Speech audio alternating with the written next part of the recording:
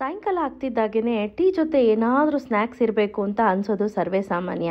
So ಹಾಗಾಗಿ ಇವತ್ತಿನ ದಿನ ತುಂಬಾ ಸಿಂಪಲ್ ಹಾಗೂ ಟೇಸ್ಟಿಯಾಗಿ ಮುರ್ಕ್ ಯಾವ ರೀತಿ ಮಾಡೋದು ಅಂತ ಹೇಳ್ಕೊಡ್ತೀನಿ. ಸೊ ಇದು ನೋಡಿ ಈ ರೀತಿ ಕಟ್ಟಿ ಚಿಪ್ಸ್ ಥರ ಉದ್ದುದ್ದಕ್ಕಿರುತ್ತೆ. ಸೊ ಇದು ಆಲ್ಮೋಸ್ಟ್ ಚಕ್ಲಿ ಹೇಗಿರುತ್ತೋ ಹಾಗೆ ಇರುತ್ತೆ ಟೇಸ್ಟು ಸೊ ಯಾವ ರೀತಿ ಮಾಡೋದು ನೋಡೋಣ. ಮೊದಲು ಒಂದು ಅರ್ಧ ಕಪ್ಗಿನ ಸ್ವಲ್ಪ ಕಡಿಮೆ ಉರ್ಗಡ್ಲೆಯನ್ನು ಮಿಕ್ಸಿ ಜಾರ್ಗೆ ಹಾಕ್ಕೊಂಡು ಇದನ್ನು ನುಣ್ಣಗೆ ಪೌಡ್ರ್ ಮಾಡ್ಕೊಂಡು ಬರೋಣ. ನೋಡಿ, ಒಂಚೂರು ಕೂಡ ತರ್ತರಿ ಇರಬಾರ್ದು ಕಂಪ್ಲೀಟಾಗಿ ನುಣ್ಣಗೆ ಪೌಡ್ರ್ ಹಾಕಿರಬೇಕು. ಈಗ ಇದನ್ನು ಒಂದು ಬೌಲ್ಗೆ ಟ್ರಾನ್ಸ್ಫರ್ ಮಾಡ್ಕೊಳ್ತೀನಿ. ಈಗ ಇದಕ್ಕೆ ಎರಡು ಕಪ್ನಷ್ಟು ಅಕ್ಕಿ ಹಿಟ್ಟನ್ನು ಹಾಕ್ಕೊಂಡಿದ್ದೀನಿ ಪ್ಯಾಕೆಟ್ ಆದರೂ ಯೂಸ್ ಮಾಡ್ಬೋದು, ಅಥವಾ ಮನೇಲಿ ಅಕ್ಕಿ ತೊಳೆದು ಒಣಗಾಕಿ ಅದನ್ನಾದರೂ ಬೀಸಿಸ್ಕೊಂಡು ಬಂದು ಯೂಸ್ ಮಾಡ್ಬೋದು. ಒಂದು ಟೇಬಲ್ ಸ್ಪೂನಷ್ಟು ಅಚ್ಕಾರದ ಪುಡಿ, ಆ ನಂತರ ಒಂದು ಅರ್ಧ ಟೀ ಸ್ಪೂನ್ನಷ್ಟು ಓಂ ಕಾಳು ನೋಡಿಕೊಂಡು ನಿಮ್ಮ ರುಚಿಗನುಸಾರವಾಗಿ ಉಪ್ಪು, ಅರಿಶಿಣ ಒಂದು ಕಾಲು ಟೀ ಸ್ಪೂನ್ನಷ್ಟು ಆನಂತರ ಸ್ವಲ್ಪ ಬೆಣ್ಣೆಯನ್ನು ಯೂಸ್ ಮಾಡ್ತೀನಿ. ನಾನೇನು ಮಾಡ್ತೀನಿ, ಒಂದು ಎರಡು ಟೇಬಲ್ ಸ್ಪೂನ್ನಷ್ಟು ಎಣ್ಣೆ ಆನಂತರ ಒಂದು ಟೇಬಲ್ ಸ್ಪೂನ್ನಷ್ಟು ಬೆಣ್ಣೆ. ಇದಿಷ್ಟನ್ನು ಸ್ವಲ್ಪ ಬೆಚ್ಚಗೆ ಮಾಡ್ಕೊಳ್ತೀನಿ. ನೋಡಿ, ಇದು ಕರಗಿದ್ರೆ ಸಾಕು ಬೆಣ್ಣೆ. ತುಂಬ ಏನು ನಮಗೆ ಚೆನ್ನಾಗಿ ಕಾಯಿಸ್ಬೇಕು ಅನ್ನೋದೇನಿಲ್ಲ. ಒಂಚೂರು ಕರಗಿದ್ರೆ ಸಾಕು. ಇದನ್ನು ತೆಗೆದುಕೊಂಡು ಬಂದು ಡೈರೆಕ್ಟಾಗಿ ಹಿಟ್ಟಿಗೆ ಹಾಕ್ಕೊಳ್ಳೋಣ ನೋಡಿ, ಈ ರೀತಿ ನಿಧಾನಕ್ಕೆ ಹುಷಾರಾಗಿ ಈ ರೀತಿ ಕಲಿಸ್ಕೊಳ್ಳಿ ಸ್ನೇಹಿತರೆ. ಕೆಲವೊಮ್ಮೆ ಕೈ ಸುಟ್ಬಿಡುತ್ತೆ, ಹುಷಾರಪ್ಪ. ಸೊ ಯಾವಾಗಲೂ ಅಷ್ಟೇ ಈ ಪ್ರೊಸೀಜರ್ ಮಾಡಬೇಕಾದ್ರೆ ಹುಷಾರಾಗೆ ಮಾಡ್ಕೋಬೇಕು.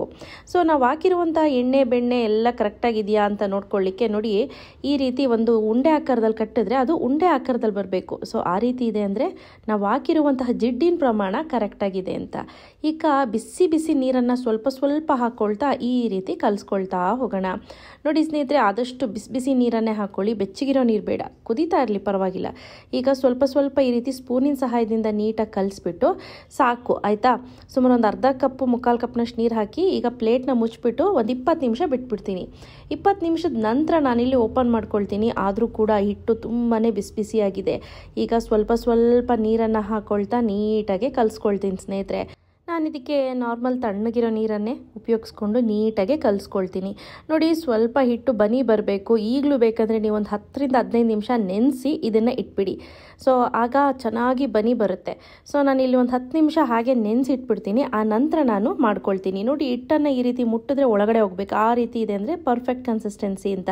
ಇನ್ ಕೇಸ್ ಏನಾದರೂ ಚಕ್ಲಿ ಅಥವಾ ಮುರುಕು ಮಾಡಬೇಕಾದ್ರೆ ಒಡೆದೋಗ್ತಿದೆ ಅಂತ ಅಂದರೆ ಸ್ವಲ್ಪ ಅಕ್ಕಿ ಹಿಟ್ಟನ್ನು ಹಾಕಿ ಕಲಿಸ್ಕೊಳ್ಳಿ. ಇಲ್ಲ, ಒಂದು ಎರಡರಿಂದ ಮೂರು ಟೇಬಲ್ ಸ್ಪೂನಷ್ಟು ಮೈದಾ ಹಿಟ್ಟು ಹಾಕಿ ಕೂಡ ಕಲಿಸ್ಕೋಬೋದು. ಈಗ ಈ ರೀತಿ ಒಂದು ಸ್ವಲ್ಪ ಹಿಟ್ಟನ್ನು ತೆಗೆದುಕೊಂಡು ಸಿಲಿಂಡ್ರಿಕಲ್ ಶೇಪಲ್ಲಿ ಮಾಡಿಕೊಂಡು ಈ ರೀತಿ ಚಕ್ಲಿ ಓಲ್ಡ್ ಬರುತ್ತೆ ನೋಡಿ. ಇದಕ್ಕೆ ಈ ರೀತಿ ಪ್ರೆಸ್ಸಿಂಗ್ದು ಚಕ್ಲಿ ಓಲ್ಡ್ ಸಿಗುತ್ತೆ. ಸೊ ಅದರಲ್ಲಿ ಈ ಪ್ಲೇಟ್ ಏನಿದೆ, ಇದು ಮಾತ್ರ ಬೇರೆದು ಹಾಕ್ಕೊಂಡಿದ್ದೀನಿ. ಪ್ಲೇಟ್ ಅಂತಾರೆ, ಬ್ಲೇಡ್ ಅಂತ ಕೂಡ ಕರೀತಾರೆ. ಸೊ ಈಗ ಸ್ವಲ್ಪ ಈ ರೀತಿ ನೀಟಾಗಿ ತುಂಬ್ಕೊಳ್ತೀನಿ. ಇದೊಂಥರ ಗನ್ ಶೇಪಲ್ಲಿ ಇರುತ್ತೆ, ತುಂಬ ಈಸಿ. ಸೊ ಇದ್ರ ಲಿಂಕನ್ನು ನಾನು ಕೊಟ್ಟಿರ್ತೀನಿ ನೋಡಿ, ಚೆಕ್ ಮಾಡ್ಕೊಳ್ಳಿ ಸ್ನೇಹಿತರೆ. ಏನೋ ಒಂದು ಮುನ್ನೂರೈವತ್ತರಿಂದ ನಾನ್ನೂರು ರೂಪಾಯಿಗೆಲ್ಲ ಸಿಕ್ಬಿಡುತ್ತೆ. ಸೊ ಈಗ ನೋಡಿ, ಆದಷ್ಟು ಸಣ್ಣಗಿರೋದು ಮೀಡಿಯಮ್ ಸೈಜ್ ಅಂತ ತೆಗೆದುಕೊಳ್ಳಿ. ತುಂಬ ದಪ್ಪ ಇದ್ದಾಗ ಏನಾಗುತ್ತೆ ಅಂದರೆ, ನಾವು ಮಾಡುವಂಥ ಮುರುಕೇನಿದೆ ಅದು ಒಳಗಡೆ ಬೇಯೋದಿಲ್ಲ ಸೊ ಹಾಗಾಗಿ ಸ್ವಲ್ಪ ಚಿಕ್ಕದ್ರಲ್ಲೇ ಮಾಡ್ಕೊಳ್ಳಿ. ಆಯಿತಾ? ನೋಡಿ, ಈ ರೀತಿ ಆದ ನಂತರ ಲಾಸ್ಟಲ್ಲಿ ಈ ರೀತಿ ಫಿಕ್ಸ್ ಮಾಡ್ಕೋಬೇಕು. ಅಂದರೆ ಟೈಟಾಗಿ ಪ್ರೆಸ್ ಮಾಡಬೇಕು. ಇಲ್ಲ ಅಂತ ಅಂದರೆ ಎಣ್ಣೆಗೆ ಹಾಕಿದಾಗ ಬಿಟ್ಟೋಗುತ್ತೆ. ಸೊ ಇದೊಂದು ಟಿಪ್ ಅಂತಲೇ ನೀವು ಅನ್ಕೋಬೋದು. ಎಸ್ ಈಗ ಚೆನ್ನಾಗಿ ಕಾದಿರೋಂಥ ಎಣ್ಣೆಗೆ ತೆಗೆದು ತೆಗೆದು ಹಾಕ್ಕೊಳ್ತೀನಿ ನಿಮಗೆ ತೆಗೆದು ಹಾಕೋಕ್ಕೆ ಕಷ್ಟ ಅಂತಂದರೆ ನೋಡಿ, ಈ ರೀತಿ ಜಾಲರಿಯಲ್ಲೂ ಕೂಡ ನೀವು ಈ ರೀತಿ ಮಾಡ್ಕೊಳ್ತಾ ಹೋಗ್ಬೋದು. ಚೆನ್ನಾಗಿ ಬರುತ್ತೆ. ಸೊ ಆವಾಗಲೂ ಕೂಡ ಏನು ಕಿತ್ತೋಗೋದಿಲ್ಲ. ನಿಮ್ಮ ಅನುಕೂಲ ಹೇಗೋ ಸ್ನೇಹಿತರೆ ಹಾಗೆ ಮಾಡ್ಕೊಳ್ಳಿ. ಸೊ ಈಗ ನೋಡಿ, ಚೆನ್ನಾಗಿ ಹುಂಬಣ್ಣಕ್ಕೆ ತಿರುಗಿದ ನಂತರ ಇನ್ನೊಂದು ಸೈಡ್ ಟರ್ನ್ ಮಾಡ್ಕೊಳ್ಳಿ. ಎರಡೂ ಸೈಡು ಚೆನ್ನಾಗಿ ಹೊಂಬಣ್ಣ ತಿರುಗಿದೆ ಅಂತ ಅಂದಾಗ ತೆಗೆದುಬಿಡೋಣ. ನೋಡಿ, ತುಂಬ ಗೋಲ್ಡನ್ ಕಲರ್ ಬರ್ಸೋ ಅವಶ್ಯಕತೆ ಇಲ್ಲ. ಸ್ವಲ್ಪ ಕಲರ್ ಚೇಂಜ್ ಆದರೆ ಸಾಕು. ಎಸ್ ಡನ್ ಈಗ ಉಳಿದಿರುವಂತಹ ಎಲ್ಲ ಮುರುಕುಗಳನ್ನ ಇದೇ ರೀತಿ ಮಾಡಿ ರೆಡಿ ಮಾಡಿ ಇಟ್ಕೊಳ್ತೀನಿ. ಸಿಂಪಲ್ ಆ್ಯಂಡ್ ಟೇಸ್ಟಿ ರೆಸಿಪಿ ಅಂತ ಹೇಳ್ಬೋದು. ಟೀ ಟೈಮ್ಗೆ ಒಳ್ಳೆ ರೆಸಿಪಿ ಒಳ್ಳೆ ಟೈಮ್ ಪಾಸ್ ಆಗುತ್ತೆ. ಸೊ ನೀವು ಕೂಡ ನಿಮ್ಮ ಮನೆಗಳಲ್ಲಿ ಟ್ರೈ ಮಾಡಿ. ನಾನು ಹೇಳ್ದಂಗೆ ಇನ್ ಕೇಸ್ ಮುರುಕೇನಾದರೂ ಮುರಿದೋಗ್ತಿದೆ ಅಂದರೆ ಸ್ವಲ್ಪ ಮೈದಾ ಹಿಟ್ಟು ಅಥವಾ ಅಕ್ಕಿ ಹಿಟ್ಟನ್ನು ಹಾಕೋಬೋದು ತೊಂದರೆ ಇಲ್ಲ. ಸೊ ಈಗ ಸಿದ್ಧವಾಗಿದೆ ನೋಡಿ. ಸೈಜ್ ಎರಡರಲ್ಲಿ ಮಾಡ್ಕೊಂಡಿದ್ದೀನಿ.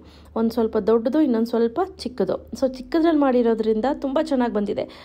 ಸೊ ನೋಡಿದ್ರಿ ಅಲ್ವಾ? ಇಷ್ಟ ಇವತ್ತೊಂದು ಸಿಂಪಲ್ ರೆಸಿಪಿ ಇವತ್ತಿನ ರೆಸಿಪಿ ಇಷ್ಟ ಆಗಿದ್ರೆ ಪ್ಲೀಸ್ ಲೈಕ್ ಮಾಡಿ ಶೇರ್ ಮಾಡಿ ಕಾಮೆಂಟ್ ಮಾಡೋದು ಮರಿಬೇಡಿ.